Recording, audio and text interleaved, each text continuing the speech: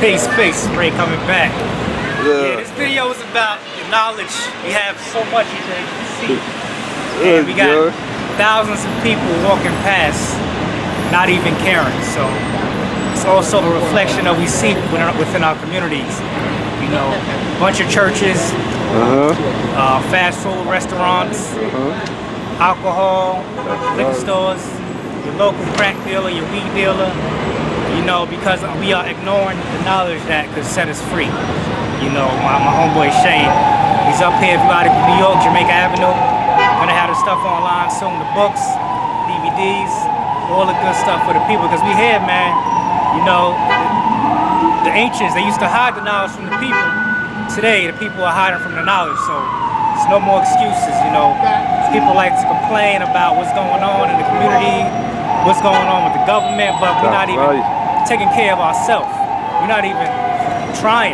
You know, I don't even like to use the word try, but we gotta first try before we go. So you gotta read the books, get the DVDs, educate yourself, man. Um, look around on Jamaica Avenue. There's about probably 60, hundreds of stores up here. And, you know, none of them from our community. Everybody coming in the community, you know, exploit and then going back, you know, leaving leaving us all messed up. So that's one of the main places we got to start economics. So my book is out about the marijuana stock. Forget to check it out.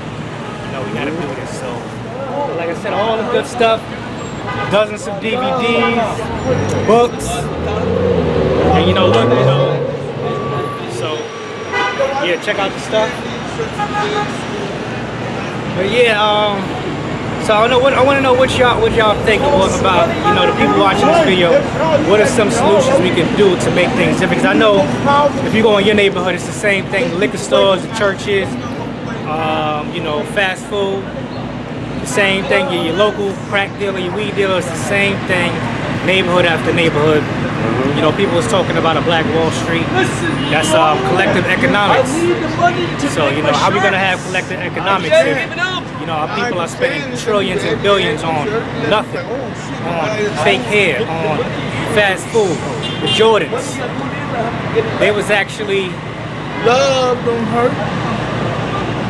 Remember, love don't hurt. you know, there was a sneaker that came out last week, Jordans, selling for $3,000 a pair. You gotta be really crazy to buy a sneaker that costs 3000 and I bet you they was lined up.